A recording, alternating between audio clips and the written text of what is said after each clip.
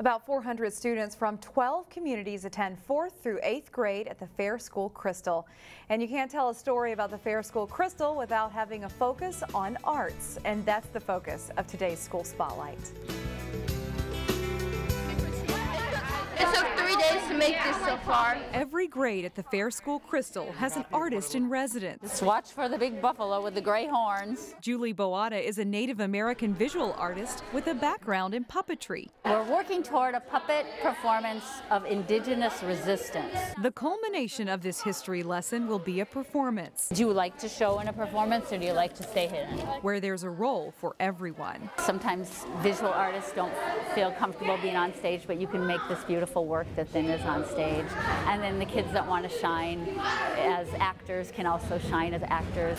I'm making a little hole. Seeing students shine when they find the art that fits is a big payoff for staff here. We may have a kid or two who gets in trouble, but then when they get on stage, totally different kid. And so that makes my job more exciting for me because I know that's coming, right? That's the, the end product. Principal Zoraba Ross says there's beauty in watching how a student can grow when motivated. Here we go school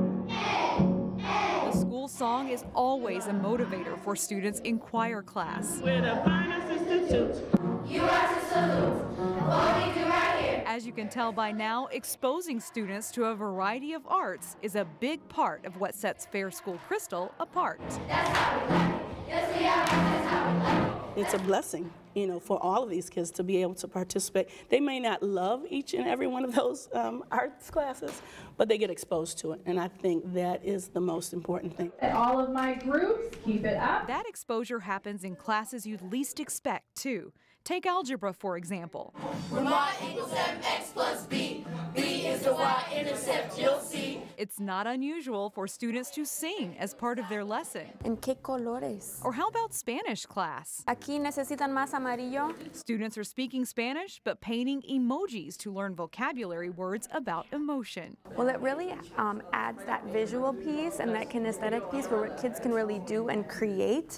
It's not just memorizing lists or things like that, but they are able to really um, feel what they are learning and create something. The art focus at Fair School Crystal isn't about creating a beautiful finished product or turning students into art masters. Instead, it's a way for students to love learning. But it was that process of using art, whether it be songs or dancing or drawing, painting, acting, all of those different things that helped them learn the content.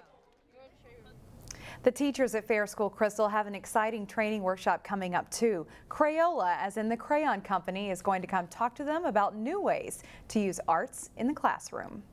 Always cool to visit that school.